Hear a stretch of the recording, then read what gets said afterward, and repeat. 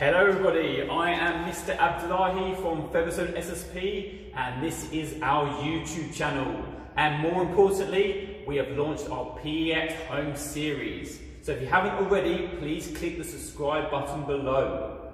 Every day from Monday the 11th of January, we will be running a different PE activity. These activities are designed to improve skill, keep you physically active, and most importantly, have fun.